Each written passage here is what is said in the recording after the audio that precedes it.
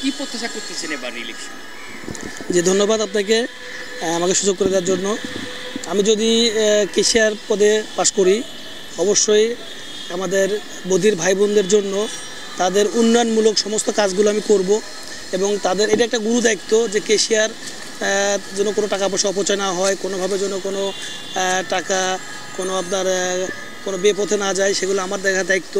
আমি অবশ্যই তাদের যে আমানত, আমানতের খেয়ানোর জন্য না হয়, সেদিকে আমি আপ্রাণ চেষ্টা করব ইনশাল্লাহ এবং আমার আশা যে আগামী আঠারো তারিখ, আঠারোই মার্চ দু হাজার যে নির্বাচন হবে, এই নির্বাচনে আমি বিপুল ভোটে আপনার বিপুল ভোটে পাশ করব সেটা এটা আমার আশা।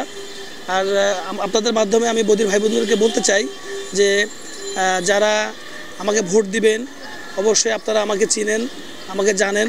আমাকে, আমার সম্বন্ধে আপনারা অবশ্যই জানেন যে আমি আপনাদের আমানতের খেয়ানত করব না ইনশাল্লাহ সবাইকে ধন্যবাদ।